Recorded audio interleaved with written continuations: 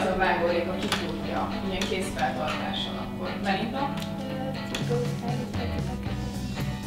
Hát pontosabban ő tervező, cégeket tervez, és régen táncos volt. Én voltam a nyertes a mai nap folyamán, aki a legtöbb választ tudta a kérdésekre, és nagyon-nagyon jó érzés volt.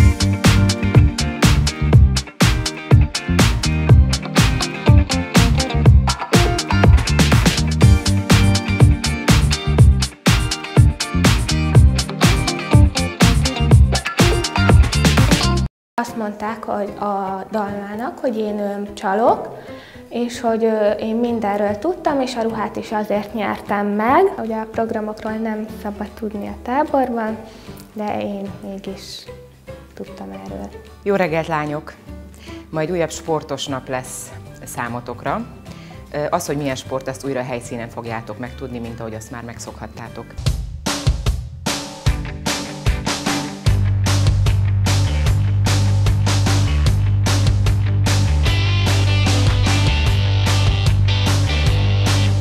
Elindultunk, aztán megláttuk, hogy egy golfpályára megyünk, úgyhogy délelőtt golfoztunk.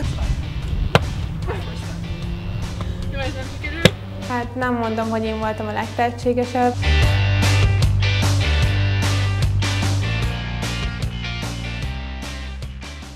Lányok hozzám sem szólnak, mellém sem jönnek. Várj egy pillanat, egy itt maradsz. Jó, Laura?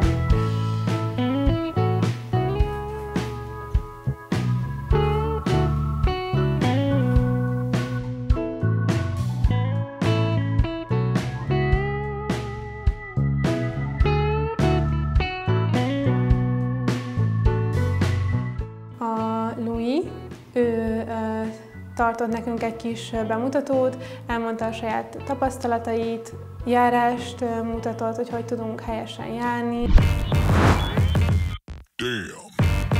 Szedekény Zsolt vagyok, a főszervezője ennek a tánctábornak. A mai nap készültünk nektek egy olyan challenge ahol Chris Bryan fog nektek tartani egy koreográf, mutatni egy koreográfiát. Ez a táncos produkció, ez nekem annyira nem jött be. Nekem nincs tánctudásom, sose tanultam, és ezért elég nehéz koreográfiát kaptunk, ami, amire nagyon, de nagyon kevés időnk volt megtanulni.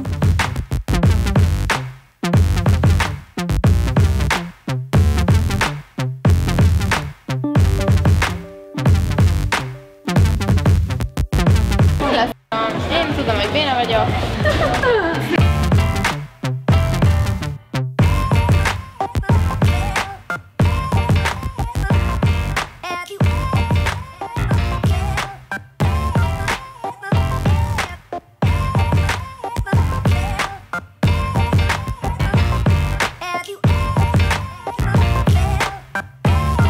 Nem fog táncolni, nem tudok. Kiskorúta sportolok. A tánc az a halálom, de tényleg nem tudok, nem is akarok.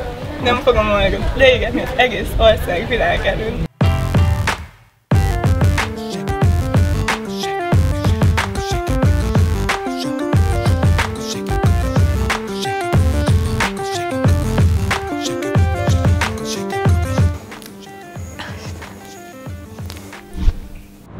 Lányok, újból elérkeztünk a nap legizgalmasabb pillanatához. A harmadik kiszavazásnál tartunk.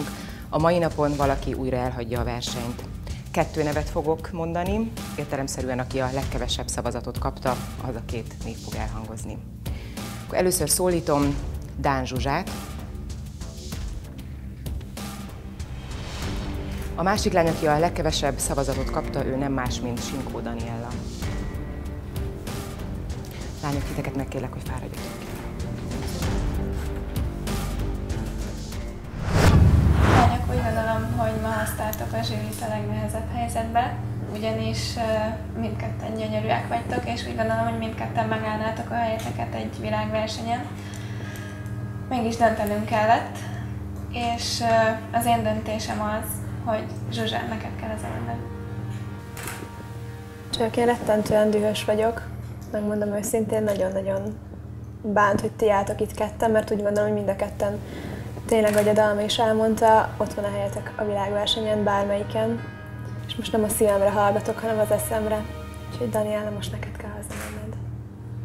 Nagyon ritka az ilyen. Rettetesen fotogének vagytok, és gyönyörűek vagytok, mind a kettőtöknek nagyon karakteres arca van.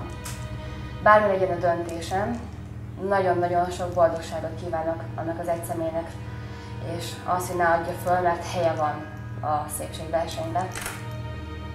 Viszont akinek most haza kell mennie, a Zsuzsa. Sajnálom.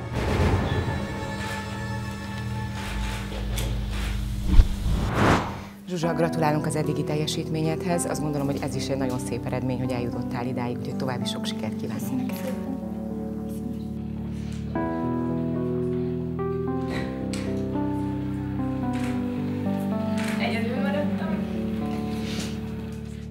Szerintem én nem vagyok egyáltalán gyengébb, mint Daniella.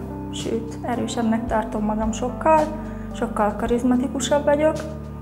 Én szívem szerint a Melindát küldeném haza, mivel sokat sír, sokat lelkizik, és egy ilyen versenyen erősnek kell lenni. Szerintem a Melinda nem olyan szép, mint mi. Most jelenleg nagyon izgulok a holnapi nap miatt, de minden erőmmel azon leszek, hogy ne én kapjam a legkevesebb szavazatot. Úgy gondolom, Zsuzsa nem érdemelte meg a kiesést, viszont én nyerni jöttem ide. Tehát bármennyire is fáj, hogy ő kiesett, mert úgy gondolom, hogy elég jobban lettünk itt a lányokkal. Örülök neki azért, hogy én jutottam tovább a mai napon.